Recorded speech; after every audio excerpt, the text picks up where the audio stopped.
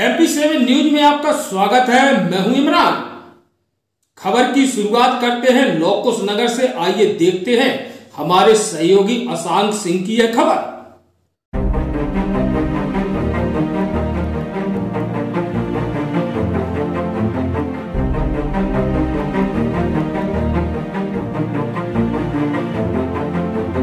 लोग सोते रहे और चोर चोरी कर कर रफू चक्कर हो गए।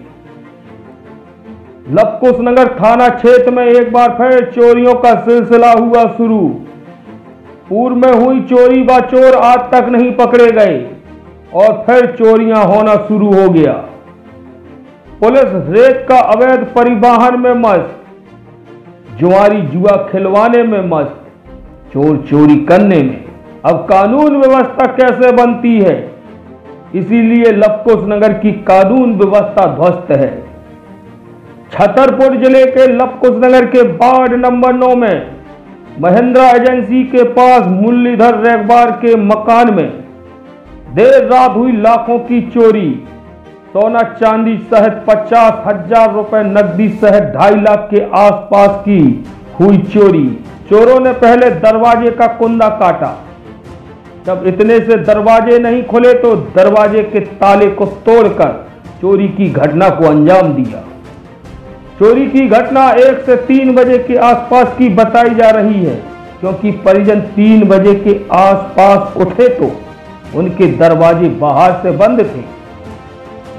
परिजनों ने यह भी बताया कि हमारे मोहल्ले में प्रतिदिन जुआ का फ़र्ज़ संचालित होता है।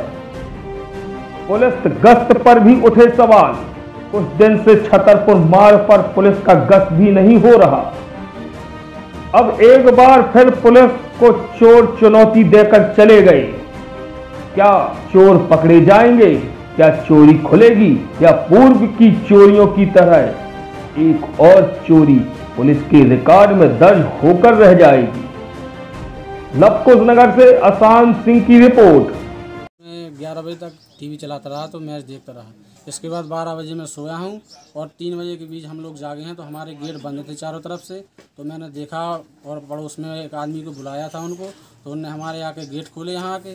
तो देखा तो चोरी हो गई थी। हमारा पूरा जेवर चला गया, डेढ़ दो लाख रुपये का, पचास हज़ार रुपये चले गए हैं और लोग छतों द्वारा आए हैं हमारे यहाँ। और हमारे यहाँ बगल में जुआ होता रहता है, परमानेंट। तो यहाँ छतों द्वारा हमारे तीनों तीनों छत के यहाँ से कहीं से भी आया, कोई जो कोई भी आया हो और हमको जानकारी हमारे सब गेट बंद करके हमको अंदर करके और हमारा कितना सामान लेके चला गया। कितने बजे के आसपास की घटना होगी? सर ये एक से और तीन बजे के बीच का मामला है। जुआ कहाँ पे होता है? जुआ यहाँ होता है रोज होता है पर होता है। अच्छा अब तो पुलिस नहीं बताते आप? नहीं हम सर क्या हम विवाद नहीं चाहते ना किसी से? हम अपना रोटी चलाते हैं गरीब आदमी हैं, अपना खाते पीते हैं किसी से विवाद नहीं करना चाहते हैं इसलिए हम किसी को नहीं बताते कि भैया अपना आप चलाओ अपना हम चला हम किसी से मतलब नहीं। जब आज हमारी चोरी हुई तो हमको बताना पड़ा कि जुआ होता तो इंसान हमारी यहाँ किसको पता है कि इस कमरे में हमारा सब कुछ रखा है? बाकी हमारे सारे कमरे खुले थे कोई उस कमरे में नहीं गया हमको दो कमरे में बंद कर दिया। एक कमरा हमारा खुला था वहाँ हमारा सामान पड़ा है टीवी पड़ी है वहाँ कोई नहीं गया है। इस कमरे में सबको पता था जिसको भी पता था कि इसमें रखा है सामान किसी का ताला तोड़ा काट कर ले गए हैं पूरा सामान ले गए जेवर डाली पूरा रुपये ले गए।